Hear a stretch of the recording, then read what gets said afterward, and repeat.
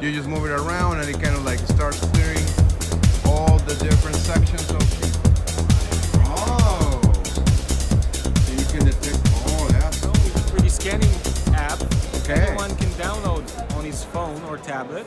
So it's a 3D scanning application on your phone. True, let me show you how it So works. it's like a faro. Everything you see here, I scanned with this Okay. phone. For example, here is a shoe. Use- You download the app, it's a free app. You go here and you print this piece of paper. You put the product that you want to scan on the paper. And there's an AR dome that guides you through the scanning process.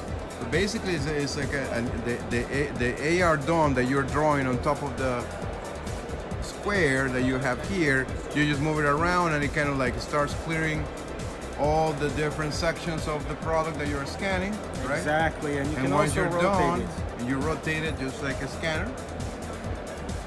And it detects the position, I assume, of all the different elements in the, in the squares. It takes multiple pictures from all different angles. And does it do the pro- does it do the processing in the phone or is it in a server somewhere else? It's all on the phone. All on the no phone. cloud, no internet required. It uses scans. And you can see one, two, three, and I have a 3D model. Even the colors are scanned. So, so you use okay. So you can you can stitch it. Exactly. And I have We're some tools to change and fix the appearance of the model here. Okay. I can now immediately export it to many different 3D formats for 3D printing, for AR, VR.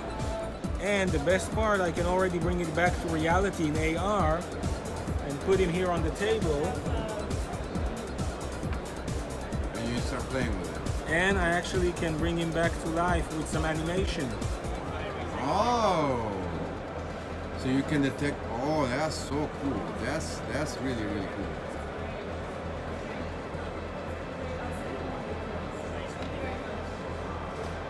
That's so cool. Thank you. So you guys are already making some money with it, I assume. It's so impressive that I'm like. Yes, we are. So you guys are like looking for more capital. You're looking to expand. What are your main goals? Strategic partners. Strategic partners. Because Qlone is an app that showcases the 3D scanning technology, but it has many different use cases. Right. As I mentioned, e-commerce, the education space, AR, VR content creation. And what's uh, how do I how do developers can get a hold of this app to start playing around with it? Just download it from your website or It's already in the App Store, okay. in the Google Play Store, Apple's App Store, and we are on the way to a million downloads already. You're aware, you, of course. I can see that you you can be very very quickly going to a million downloads.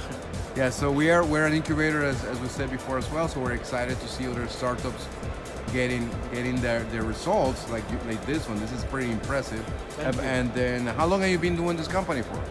Well, the company has a history in the toy and game industry, so we've been around for about 10 years. But Qlone, this new technology and app, is something that we've been working on in the last three years. Excellent, excellent to see that. Well, I scanned one of my kids on a very large mat. Uh, really? Yeah, Can we see your kid? I'm just kidding. Oh, you had the kid. Oh my god. of course. there you go. Oh, just in case. I mean, oh man, that's so cool. Thank you. This is this is the this is this is. Uh, uh, why has why are you guys in CNN? Really? Why why didn't it become coverage? Well, we were in BBC and Ah, okay. also Reuters and AP. But Okay, now you're you're in Tech Ed TV, so that's great. Thank Fantastic. you so much. So and and we want to work with you. I'm thinking I have so many ideas because we uh, we were developing a, a device that one of the startups purchased a company. The company basically defrauded them, and they didn't give them the, the files Wow. for the design. So we had to reverse engineer it. So one of the things our engineers do was to basically find a Faro scanner, which was very expensive, and then it has a very tedious process to scan the metal, and it didn't work. It created a huge file that was not able to manipulate. The only thing that you could do with the file was print it. That's it. But you couldn't manipulate it. So we decided to manually do it, get engineers, and basically rebuild everything, with, uh, measure it, and just build everything. And we were looking for a tool like this to be able to regenerate those pieces. So the question is how accurate will be if we have like let's say like uh, gears. How accurate will be we have some sort of like a uh, like a screw.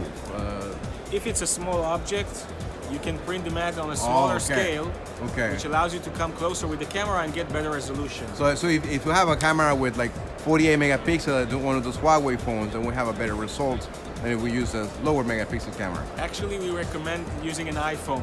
Using an iPhone, Yeah.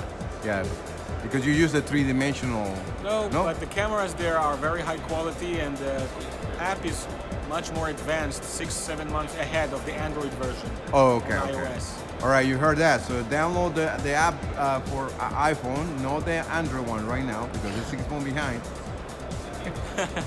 All the ones with an iPhone, we don't care. but everyone with now an iPhone may be questioned. But thank you very much, Ron. Thank very, you, very Edwin. impressive. You guys are pleasure. watching Tech Ed TV. Here, Rand, say bye to the, to the crowd. He's also part of the team. And you you learn how to clone. You really, he really couldn't clone his son. He wasn't kidding about it. All right, thanks for watching.